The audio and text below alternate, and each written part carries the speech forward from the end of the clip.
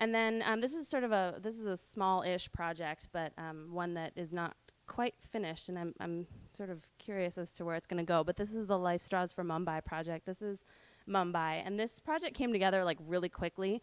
Um, but it started mostly because you know I think we've all seen the Life Straw, and and it's been all over the press, and the individual Life Straw, the like cigar-shaped small one. Um, I personally, you know, I think it's an amazing feat of engineering, but there are some things wrong with it that I think Vestergaard Frantzen is very aware of. The fact that you don't know if it's working as you're using it. You don't know when it doesn't work anymore after however many liters. So um, they've since just very recently launched um, or released the family, the LifeStraw family system, which is, if you can go forward, Sammy. Thanks. This is the original, the the personal version. One more. Thanks. Um, this next slide's huge. It's going to take forever to load. But um, the family version is essentially the same technology, but it works within a household, and it uses this bucket, and it's it has a bigger capacity. It, it filters, I think, 15,000 liters.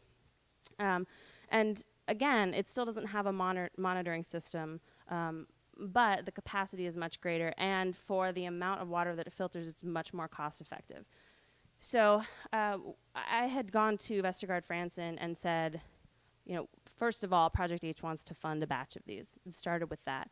Um, and then we discovered that they've only tested the LifeStraw personal and family systems in rural contexts. So they've only tested it on, on rural water, um, which is, for India in particular, I mean, how many super, super dense squatter and slum settlements settlements are there in Mumbai that have just as dire of water issues um, than you know some of the rural villages. So um, it quickly turned into okay, yeah, we want to do this donation, but we also want to want to help um, in your ability to see where this thing works and how well it works.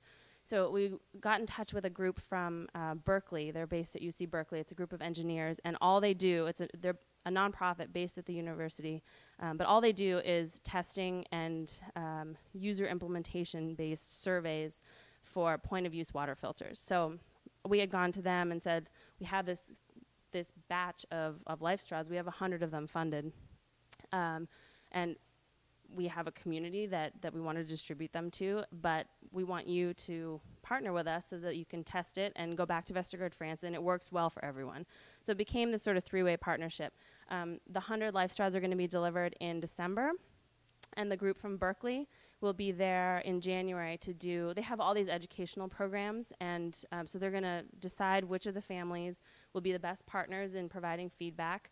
And then um, they're actually going to, this was sort of a point of, of debate, but they're actually going to sell them to the families at a very reduced price. But we decided on this because um, Vestergaard Frantzen has has found that whenever they give the life straws away, they don't get the best feedback. They don't get critical feedback. They get like like they'll go to the families a year later and say like, "Oh, you know, how's that thing that we gave you?" And they're like, "Oh, it's great. We love it. Thanks for the present." Um, but when the families are actually when they've invested in this thing, they, they take better care of it. They're much more critical about how well it's working for them because they know they've put their own two, three, four dollars into it. So in December, they're gonna um, they're gonna sort of spearhead the whole implementation and um, user survey process. And then this is the Design for Education project, which Helene, I'm sure has, or I hope, has talked to you about. Um, this is the Kutamba School in Uganda, and this started as well, it is an Architecture for Humanity project, and I don't want to put him on the spot, but the, the person who built the new school is sitting back there. He teaches in the architecture department here. That's Matt Miller. Um, so this is the existing school. It's, it's, I mean, you can tell it's not wonderful. Um, the new school is wonderful. Um, but I was there with Matt this past summer for five or six weeks, and um, hadn't actually intended for this to become a Project H project, but while I was there, I, I ended up teaching a couple of the math classes and um, doing some interviews with the headmaster and the, the teachers and, and some of the kids and realized that you know they're getting this gorgeous brand new school and they're part of this process of, of um, sort of you know being a part of the, the collaboration um, to create a new space for their learning. So as Project H, which is mostly product design based, my thought was you know, how can we complement this new gorgeous building that's that's just so much more efficient and, and works so much better, how can we complement that with things and tools and toys and processes within the classroom at a smaller scale to make their learning experience that much that much richer? If you can go forward. So I think I just have a couple images here. This is their one of their current classrooms. One more. This is in their one of their math classes. Next. Okay, these are their current. This is their desk, and um, you know there are three students sitting at every desk. Their materials are mostly well, there's textbooks, but they don't own the textbooks. The the school does, and they hand them out every day. Next, please. And so this is one of their textbooks um, that I gave to Helene. Um, so I came back from this and and started to think about you know what how the best way to approach this problem was. This school in particular all the kids are aids orphans. So you know whether or not that makes it a special case is is sort of up for debate but the way that we've been approaching it and i think helene will agree with me um, is that in a lot of ways, kids are kids, and math is certainly universal. And kids this age, um, we're talking about elementary education here, um, elements of play and of being a kid are pretty universal. So we started to look at, you know, how we could design a toy for math education that was first and foremost would serve the Kutamba School. And so we've been using the Kutamba School as a case study. Um, but beyond that, you know, how can you design something that is universal enough that it could be applied. Maybe the material is different. Maybe the maybe it's a retail product. Maybe the distribution channel is different.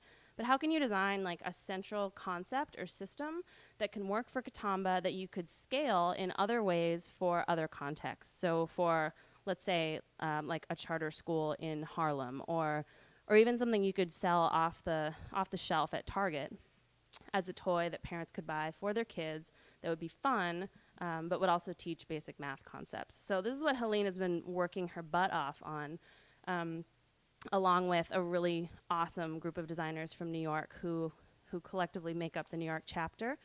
Um, and and this is also the project that we just won the the Ideablob grant for. So if you can go to the next one.